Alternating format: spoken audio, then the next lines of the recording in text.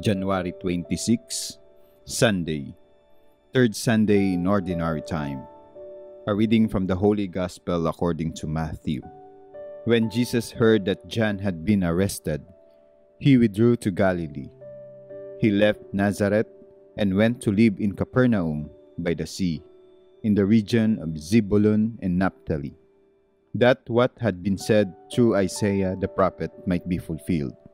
Land of Zebulun and land of Naphtali, the way to the sea beyond the Jordan, Galilee of the Gentiles. The people who sit in darkness have seen a great light. On those who dwelling in a land overshadowed by death, light has arisen. From that time on, Jesus began to preach and say, Repent, for the kingdom of heaven is at hand. As he was walking by the Sea of Galilee, he saw two brothers Simon, who is called Peter, and his brother Andrew, casting a net into the sea. They were fishermen. He said to them, Come after me, and I will make you fishers of men. At once they left their nets and followed him.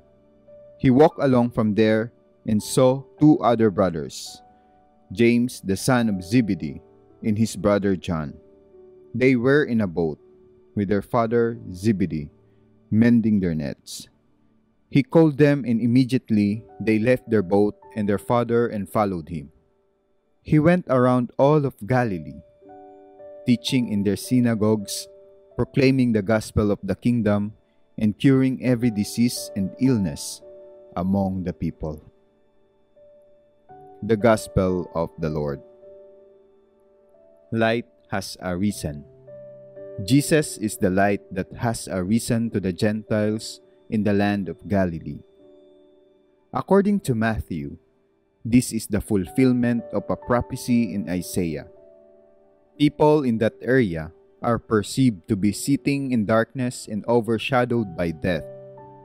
Even the Jews who live there are not as religious as the residents of Jerusalem they do not have the luxury of going to the temple and being taught by many experts in religion. There are more times that they mix with the Gentiles because of commerce. One may recall the light that guided the Magi to Bethlehem, as reported earlier by Matthew. It led them to worship the child Jesus, who himself gave joy to them, in the presence of Joseph and Mary, his parents. Now the child has become a full blown man and a preacher. With authority, he calls for fishermen to follow him, to fish or catch people. With them, Jesus teaches in the synagogues in Galilee, proclaiming the kingdom and healing all sorts of illness. Indeed, light has arisen. Now, the good news is heard by the Gentiles, not only the Jews, and they are healed of their diseases. Isaiah describes the Messiah as bringing the Gentiles abundant joy. That feeling of having an abundant harvest and of dividing spoils after a victory in war of liberation. The land in Galilee is fertile, unlike the land of Judea, which is mostly desert. The land in Galilee has also been the site of wars and a good breeding place for rebels like the zealots because of its terrain. One cannot easily be spotted there. Paul urges the Corinthian Christians to unite in the same mind and in the same purpose. There should be zero tolerance for divisions. Christianity is not about belonging to a fans club, but belonging to Christ Himself.